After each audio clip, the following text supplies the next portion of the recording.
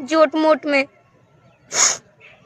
मैं मैं एक वो पेपर पे साइन की थी आईडी कार्ड के लिए। पटेल फ़िल्म पहले वहाँ पे मैं रहती थी। रहती नहीं तो वहाँ पे कंपनी नया नया खुला था तो कंपनी वाला बोला कि मेरे यहाँ से गाइए। शुरू शुरू में मैं गई थी पटना तो। मैं सारे स्टूडियो में, हर एक स्टूडियो में मैंने रिक्वेस्ट किया है।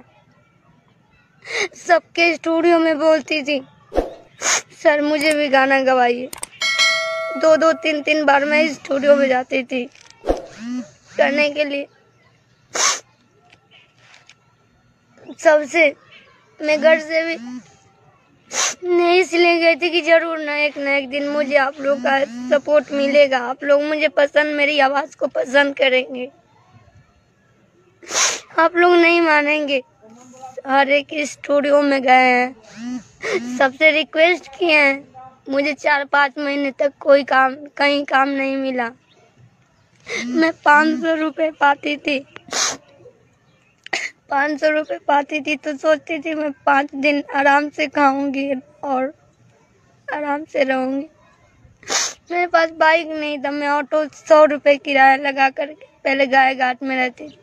किराया लगा करके फिर मैं जाती थी। सबसे रिक्वेस्ट करती थी, सर, मुझे भी गवाइए स्टूडियो में अपने। वहाँ फिर उस कंपनी वाला वो मिला।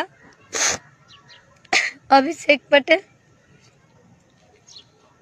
वो बोला, कि आप लोग जितने भी लोग काम कर रहे हैं इस स्टूडियो में, गाना से लेकर के राइटर से लेकर के रिकॉर्डिंग से लेकर जो भी डिज़ाइनर काम कर रहे हैं तो आप लोग अपना आईडी कार्ड बनवा लीजिए। तो सभी लोगों ने बोला, ठीक है सर हम बनवा लेते।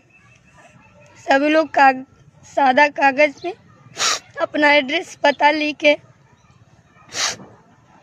नाम लिखे, और सभी लोग दिए, सभी लोग के साथ मैं भी दे दी।